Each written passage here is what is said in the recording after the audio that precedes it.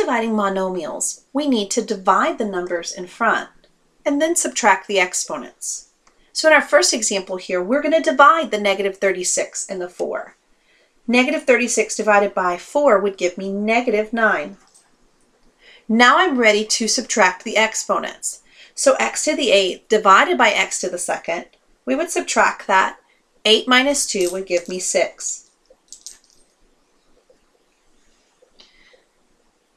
In this example, negative 24 divided by negative 6. Go ahead and divide those to give me a positive 4.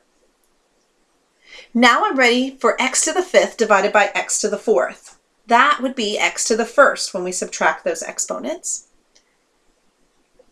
And then y to the third divided by y to the third. We subtract the exponents, we get y to the zero.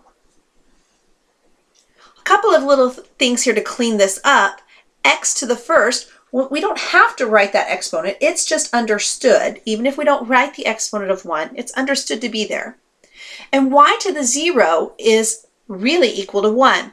So we don't have a y in this expression, and 4x would be our final answer.